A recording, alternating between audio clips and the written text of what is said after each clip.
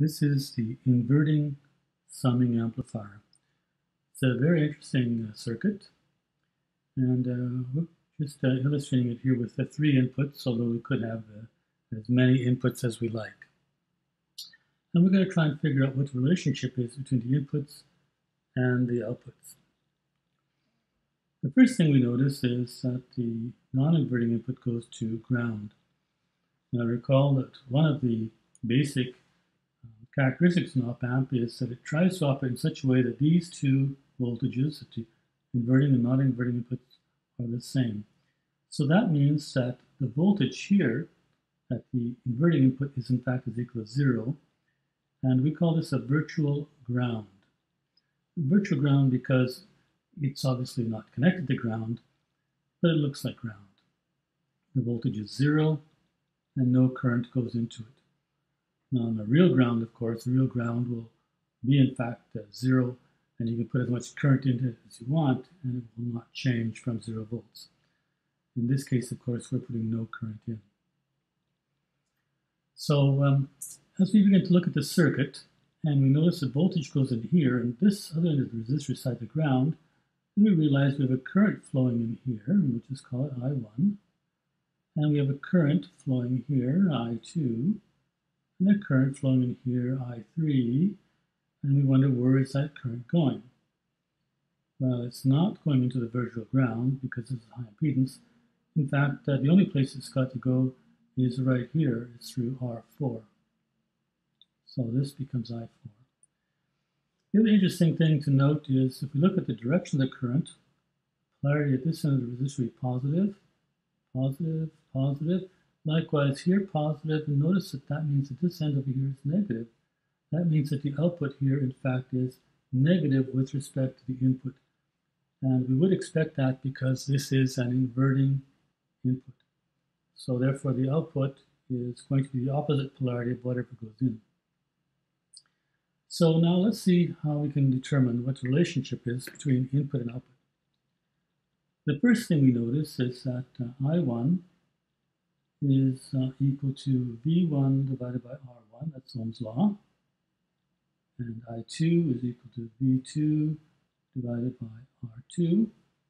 And I3 is equal to uh, V3 divided by R3. And then, of course, we just finished stating that since these currents do not go into the input of the op-amp because it's high impedance, they must go in this direction through R4 and so therefore, I4 is equal to I1 plus I2 plus I3. But the other thing we notice is that this end of R4 is attached to the virtual ground, and this end is attached to V out. And because the current is flowing in that direction, this is, in fact, negative.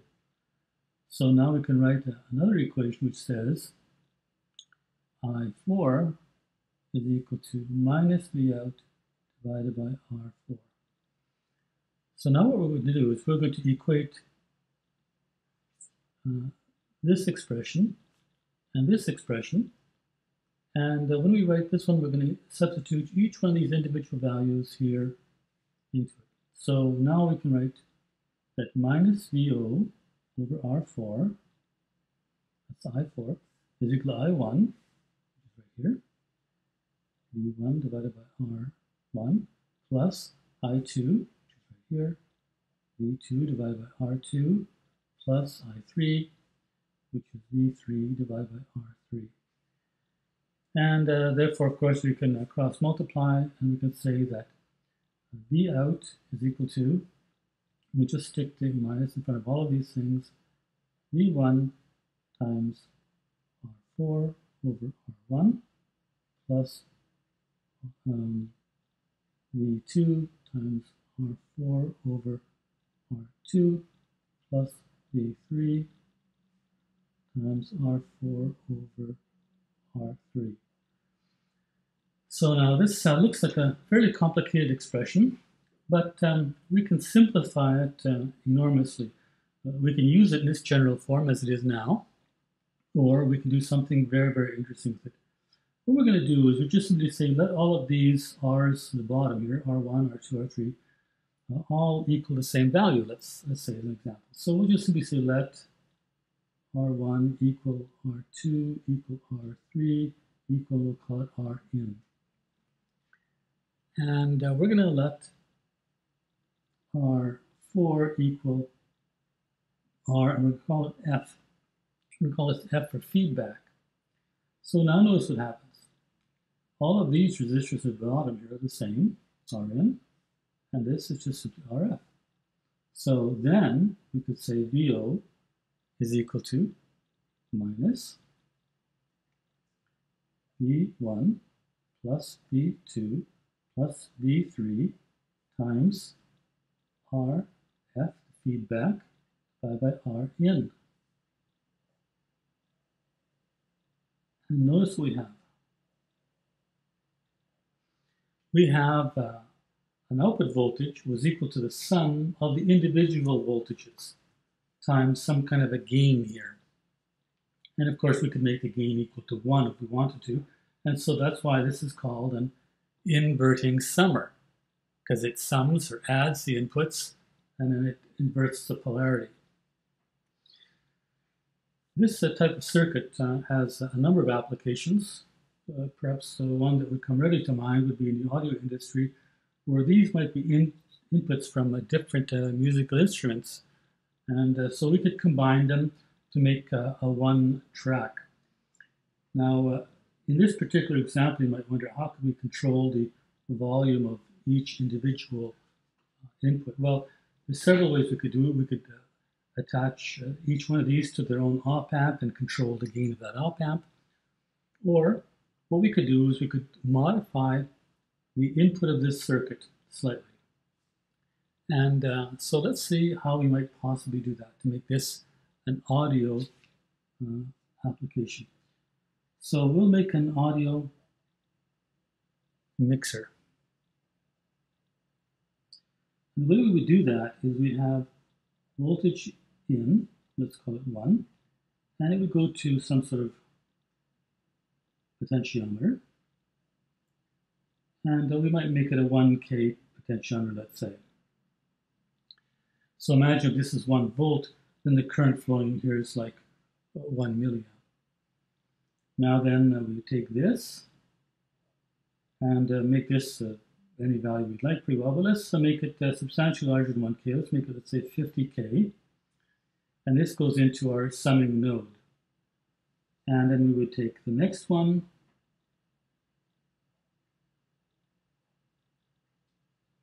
Okay, this would be V in 2. And uh, this would also go into the amplifier.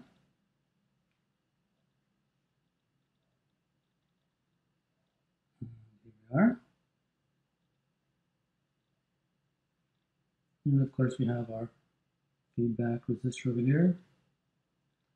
And just to keep things very simple, we'll just uh, make this uh, value 50k. And notice what happens. The output from here is going to be some fraction of V in 1 plus some fraction of V in 2. So we could easily put uh, 2 or 3 or 4 or 5 or 6 or 10 different musical instruments or microphones into each of the inputs. And by adjusting this potentiometer, come up with a different value, or with a combined value here. And uh, we could, of course, also control the overall gain by adjusting this pot but rather than doing that, it would be much simpler if we would simply put this into yet another amplifier that would allow us to control the gain separately. So we would do something like this.